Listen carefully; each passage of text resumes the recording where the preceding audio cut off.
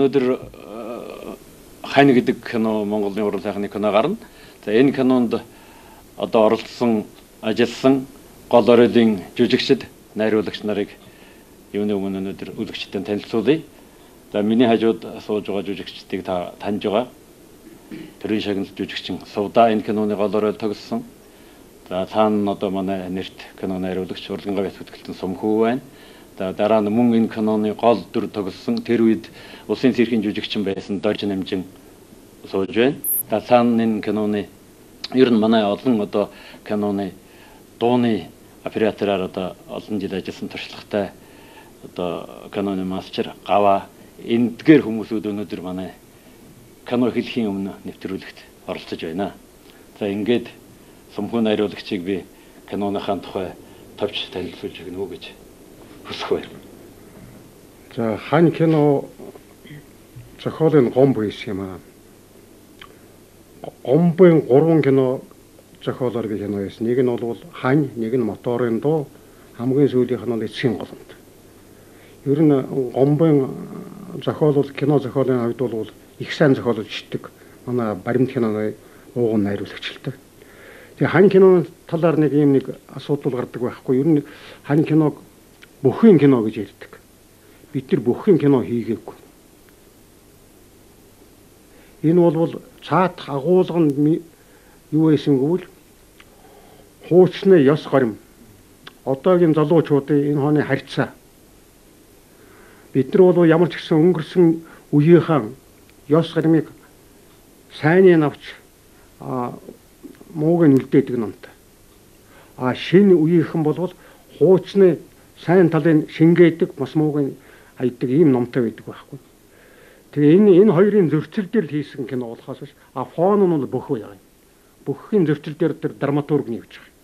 Яагаад гэвэл удам дагж байгаа одоо бөхчүүд юм уу одоо эцхэн ч юм уу заавал хүү гаргуулах дуртай ягаа бүхний удам гаргадаг.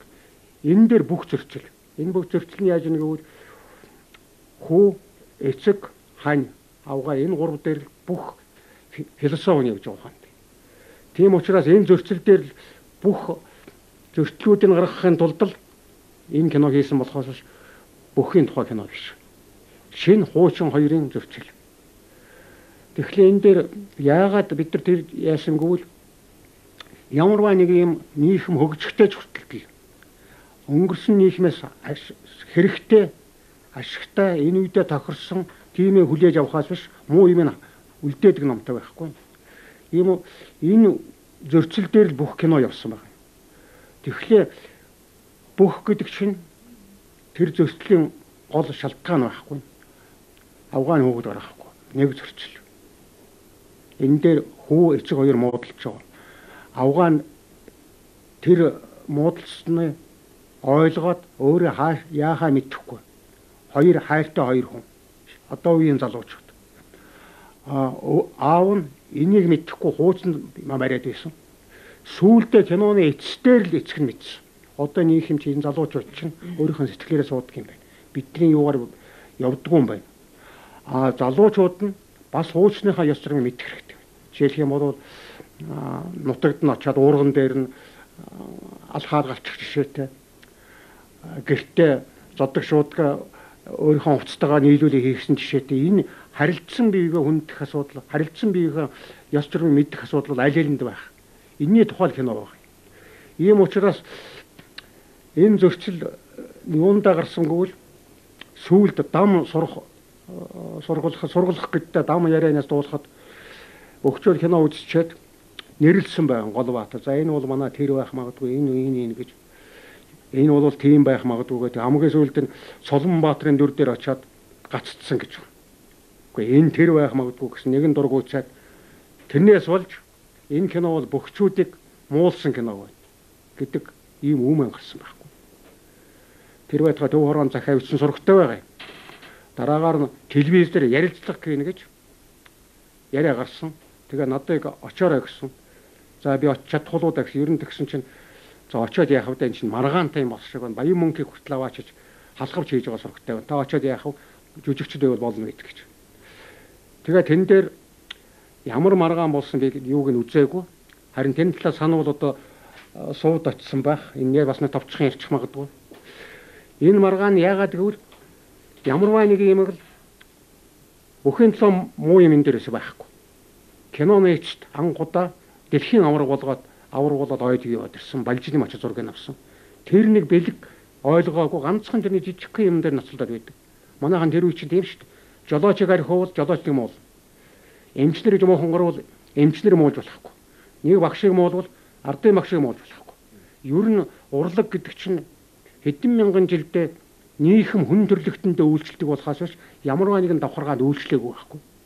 Энийг мэдхгүйгээр өөрийнхөө байгууллага юм өөрийнхөө мэрэгдэл рүү муул муулчлаа гэж ойлгодог. Тэрнээс бид нар бол тэр мэрэгдэл юм уу тэр газар нь ямар сайн хүн байна, ямар муу хүн байна. Энийний тухай ер нь кино урлаг явж байгаа. Намын дарга муулж болохгүй. Намын дарга муу байвал яах юм? Сайд юм уу болохгүй. Сайд муу байвал яах юм? Харин одоо одоо чөлөөтэй болоод хар цагааны ялах цаг болж. Ер нь хүн гэдэг чинь цагаанч вэ, харч вэ? Энэ дээр бүх зөрчил явдаг хүний юм. Гэр бүл төртөл хар цагаан байх. Нийхэм байдаг. Энийний гол чиглэлийн энэ кинонд хийсэн байна. Ганцхан фон нь бүхэн дээр битрэгсэн. А жинхэнэ мэрэгдэл бол архитектор үэсвэл манай Сэхэтв. Энэ талаар бус нь нэмэлээд ярьчихна баха. Зарим нэг мартчихад байна хамгийн засвар багтаа орсон кино санагдаад байх юм. Харин энэ кинон дээр одоо энэ баг засвар гарсан байх л гэж бодчиход ягаад том засвар гарвал дандаа үлддэг. Тэгхтээ нэг юм бод би над санаанаас гардаг. 12 дугаар микрорайоны байшингийг л галавлитэй хөлөөд одоо мэдхгүй маа. Гэхдээ энэ чинь сайдрын зөвлөө орлогчууд суудаг байшин шүү дээ. Энийг гаргаж болохгүй гэж мийс. Тэрийг л санаанаас гардаг. Тэр адилхан байшин гэж айлын тэрх хасаагүй л тэр байгаа. Бусад одоо засвар гэдэг нь санаанд гарахгүй. Тэрийг одоо Тэгээ ер нь урлаг гэдэг бол үнэхээр аль нэг мэрэгжлийн тухай биш хүний л тухай байдаг шүү дээ. Тэгэхээр дээр үед ер нь кино хийхэд жүжиг тавихад бас тийм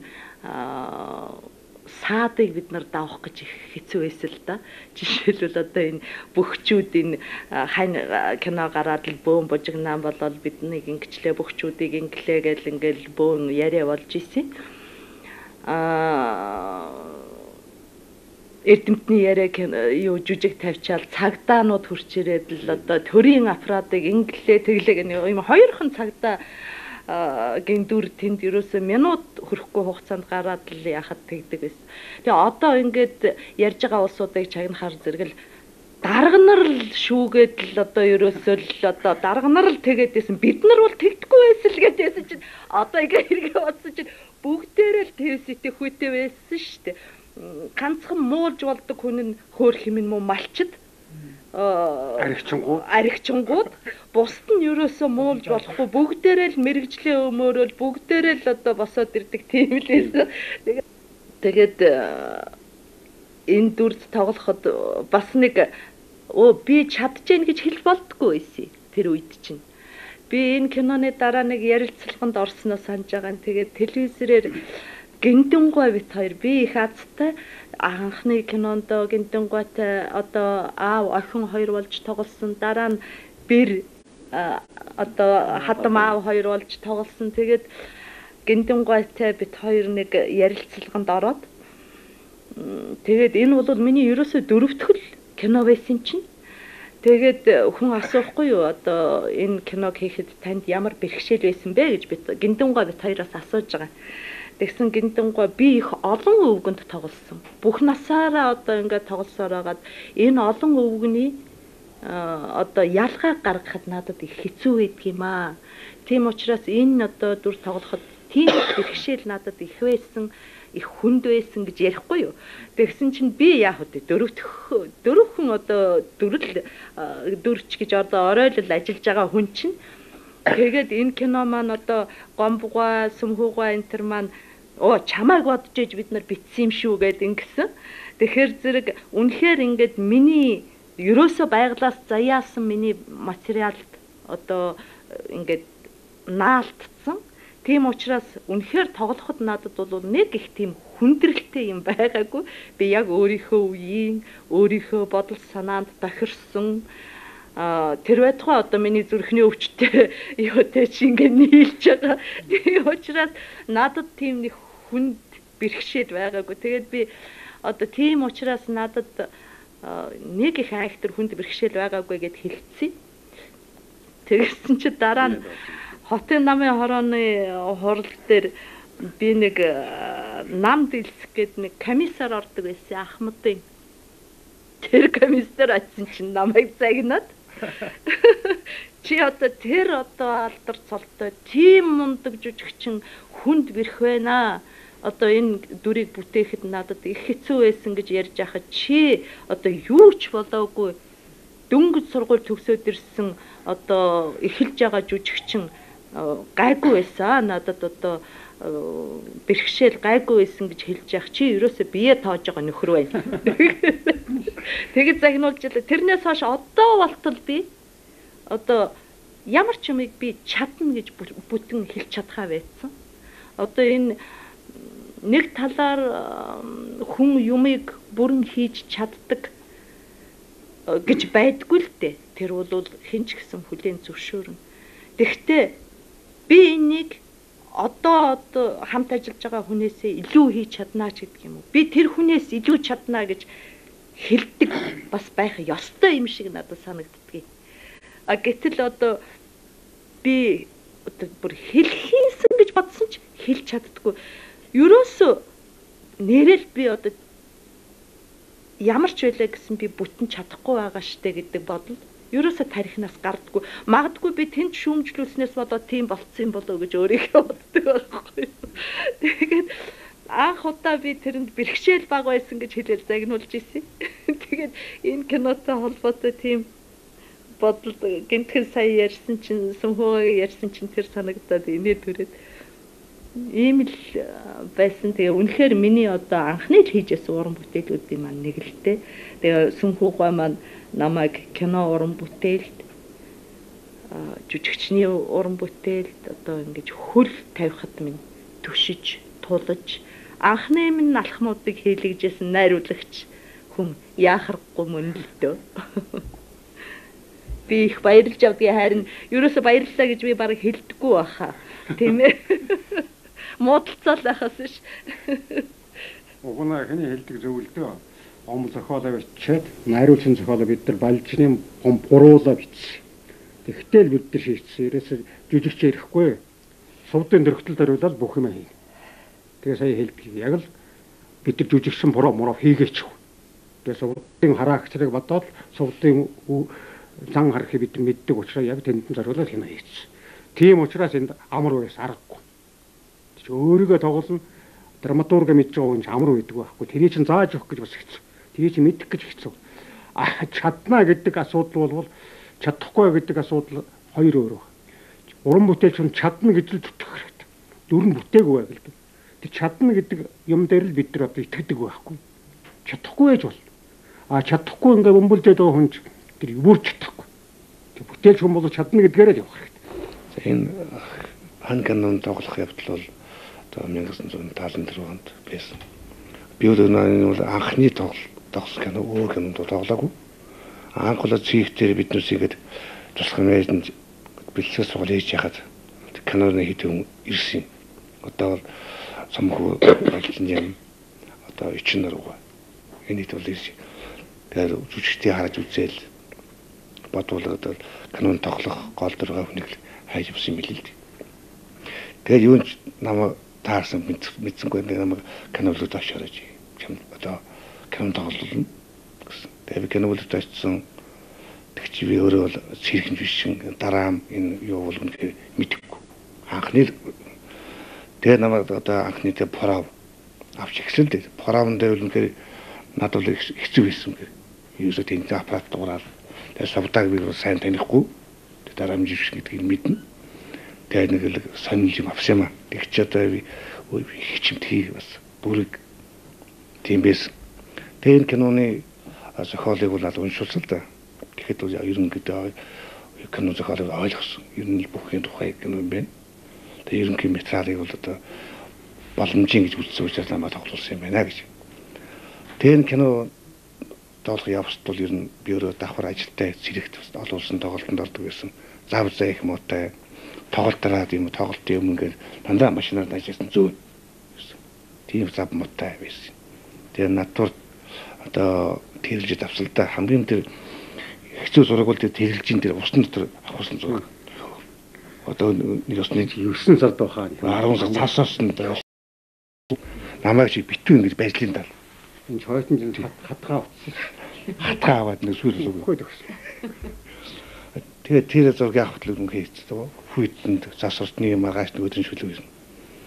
Тэгэл устын дотор ус сүрдэх бол энэ бол үнэхээр хэцүү тийм дараагийн бийтүүлсэн дээ. Гэрт өглөө өнөө сэрж байгаа зургийг гэрт авахд тэр тэрэлжид авсан шүү дээ. Тэгээ өнөө хаяа шуучаад гадаа цастай болохоор зэрэг хаяаныхаа цасыг арилгаад энэ тэндээс цэцэг авчирч энэ тэнд нь ингэ суулгаж байгаа Амнаас уур амнаас уур гараад тэгэхэр зэрэг сүмэ бити уур гаргаад бай. Тэр хүйтэнд чи амнаас уур гарахгүй яах вэ тий? Тэгэхээр зэрэг амнаас чи уур гараад байна. Бити уур гаргаад бай гэж. Тий халуун зуны зураг авчих. Тэгээ яг хөө гэрэл дөнөө сүлдээ тэр жахан ягаад уур гарахаа байхаар тэр зураг авч байгаа. Тэгээ ер нь энэ дүрм маань хүмүүсийн сэтгэл нэлээд ойр дотн буусан юм удаа би бол боддог л одоо хүртэл хүмүүс намайг энэ тааралцах нэг таньдаг хүн шиг санагдаад за энэ бүр ноттог уус ер нь сургууль хаарсан бүх юм асууж юм чинь. Нэг л цаана нэг таньдаг магадад байхгүй. Тэр хүн чинь сүүлд нь би ийм юм шиг өө тийм шүү дээ нэг нэг л бүр таньдаг хүн шиг байсан нээ үнхээр та яг хэвээрээ байна үнхээр сайхан дүр шүү гоё кино шиг бол хүн болгон ярьдаг л энэ бол энэ бүх уран бүтээлчдийн маань зүтгэл итгэл найдвар юм л байсан шүү Тэгээд ер нь тэгээд анх кинонд авч байгаа анх кинонд авч байгаа хүн их зовлонтой байдаг юм байна. Зурганд авахулаагүй. Энэ ганцхан одоо их зовоож ирсэн. Сургууль ихэд сайн моторга зураг эхлэхэд л дундуур нь заавал аппарат руу харна. Гур заавал. Тэгэхээр аппарат ард талд байж байгаа дараагийн дүүбэл төгсч явахад заавал надыг олж харна. Өөрөө их загиндаг болохоор ч айж хардаг байхгүй юу? Тэгээс үүд нь болж болжны болсон болов гүн болов тийм. Болсон болов гүн болов. Тэгсэн чи болжны үгүй чи бүр алга болоод өгөөч. Сургуулийн чи алга болсон. Тэрний муунд нэг дүүбэлгүй гардаг. Тэгээ хамгийн хэцүү нь тэр юм байна л. Тэр одоо би сая асуухгүй үгүй чи юун зар болсон болов гэж матал эргээ авч. За манай киноны энэ киноны хөгжмийг төрийн соёрхолд ардын жүжигчин Лувсан Шарав говьцсан. Энэ дээр нэг гоё дуу. Хорго хорго дээр одоо тэр хархангаан их тамир хавилд явсан их гоё сценүүд биш үү одоо та хоёрын одоо наадам мен тэрийн тий. Тэн дээр нэг дуу байдаг юм. Тэрнийг бид нэр их олон дуучин шилж байж тухайн үедээ бас нэг сайн дурын уран сайханч их овоо дуулцдаг. Төмөр замын соёлын ордонд нь сайн дур уран сайханч өгөөд инженер Сөхөө гэж хүнээр дуулуулсан. Бид олон хүн дээр парав хийсэн шүү дээ тийм ээ. Одоо арай хайдаг майдаг л авцараагүй. А тэгээ одоо тэгээд тэр дуу арааж аваар ингээд панограмын арааж авт өгсөн ингээд сонсож байхад их аятайхан болцсон, дөрсөн дайн таардсан одоо тэр дууг сонсохдоо зэрэгэл миний сэтгэлд өөрөө дууг нь битсэн болоод тэр юм уу яг л тэр киноны маань сцен а тэр тэр нь тогсон жүжигчд над ингэж дод томрон ингэж харагдчих гэдэг. Нэг юм тухайн нэг юм хэлж байгаа. Над дараа сүүл хэлж маш олон үгний дөрвтэй сайн урдна гэж сувда хэллээ шүү дээ. А гэтэл энэ үгэн бол бус төвгдөг утгад их ондоо хатуу хайрын дотроо хална гадна. Тий. Тийм л одоо өвгөн байсан. Ягаад өгтөө зэрэг нөх хүүгэн алгадсан тэр чинь. Бэригэн одоо хамаагүй аашил загна одоо гэндэнгон бусад дөрүүд дотор болвол тийм юм байхгүй ш дан уян зөөлөн одоо буудуулсан одоо ханиан алдсан тийм л юмнууд байж байгаа. Аа тэг чин манер нэг бөх бөх байсан гэдэг тэр юугаа гаргахын тулд хатуу тийм жисток одоо юу ч гэдэг юм тийм одоо юу эрэхтэй байсан. А гэхдээ би хайрладаг хүнийг хайрладаг өгөн. Ханиан хогшноо хайрладаг. Хогш нь бол бүр гарынхан доор он шүү дээ. Тийм ээ. А гэхдээ тэр нь зүгээр өнгөн дээрээ болох шус сэтгэл дээрээ биш ийм өвгөн байсан юм их хэцүү дүр надад сүмхөө өгсөн шүү. Одоо гэж ингэж ярьж ирсэн шүү. Гэндэнгой. Гэндэг орвол их сони авсан шүү дээ. Өөрөө гүйж ирсэн шүү дээ. Зохиол яаж хаана би тоглоё. Гэхдээ ер нь чиний кинонд би тоглож үзээгүй. Гэхдээ чи миний хэн тоглох хоёр сахилгагүй хүн чинь кино бүтэхгүй шүү дээ гэсэн. Говэшгэл галтахгүй л гэдэгсэн. Тэгээд тэр өөрөө хөөсөлтөд дүрээ мэдсэн илүү байдаг юм биш. Тэрнээс би гиндэн гэж санаанд ороогүй байхгүй. Нэг өдөр л ирээ хаана зохиолоод байгаа юм. Тэгээ ганцхан тэр нэг хоёр сахилгагүй кино чадахгүй шүү гэдэг дээр ярихгүй гэсэн. Манин чи үүргээс биелүүлсэн. Зайлгүй тэгээд дахиж кинонд ороогүй шүү дээ. Йоо өөрийнх нь талигаачийн бол өөрийнх нь хамгийн хайртай дүрийнх нь нэг байсан гэж би боддгийг. Өөрөө энэ дүрээ ярих их дуртай. Дуртай. Өөрөө энэ дүрэнтэй их хайртай тийм байсан. Тэгээд үнэхээр яг жаахан хатуу дарс балгачих дуртай хүн байсан л та. Тэгэл нэг яг өнөө тэр киноны эхэн дээр гардаг машинтай би ирээд буудаг. Тэр зургийг авахад гинтунганд маань өнөө нутгийнхэн ч одоо хамгал байдаг юм а барайл явах юм да тэгэл өнөө нэрсэн дарс марс авчирч өгөөд тэгээд өнөөдөгтөө хоргодоод зураг авахулахаар зэрэгэл ерөөсө стоп гингүүтэл хаяар үгүйж очиод өнөө нөгөөдхийгээ ингээд дээлэр нуугаад тавьсан. Бид нараас нууж байгаа. Тэгэл очиод нөгөөдхийгээ уух гэл ингээд болохгүй болохоор зэрэг би нөгөөдхийн гэр дотор ороод хаяагаар ингээ хулгай хийгээд далд хийцсэн. Тэгсэн чинь сүүлд нь хэн авсныг мэдэхгүй уурлаад л загнаал тэргээр яваад байсан. Сүүлдээ би намайг авсныг мэдсэл дээ. Тэгээд л та одоо дэндүү юм гэд ингээ хэлсэн. Би ер нь их тийм хатуу юм шиг байгаа юм да. Ямар ч ахмад хүнийг би ажлын шаардлагаар бол тэгэл хэлцдэг. Тэгэл сүүлд надад гомдчихвол ээж чинь намайг загнаагүй байхад чи намайг загсан. Тэгээ би сүүлд уучлалтгүй гал гүй ажил шүү дээ эн чинь тэгээ ингэсэн а би мэдлгүй яадаг мэдлгүй яадаг. Тэгээ миний охин гээд надад их сайн л байдаг байсан. Ер нь бол ажиллаа мэддэг тийм улсууд бол яг хөө тэрхэн үедээ шаардлага тавиад хатуухан хилчгэд гомдмоор л байдаг байх. Дараа нь бол тэрийгэ мартаж чаддаг. Их тийм сайхан сэтгэлтэй тийм хүн байсан. Солих шуудгатай байхад янкер үнэхээр нэг засны нэг бүх тийм өөрөө ерөөсөө тэр кинонд тоглож байхдаа маш их тийм дуртай тэгэл энгүүл яах вэ?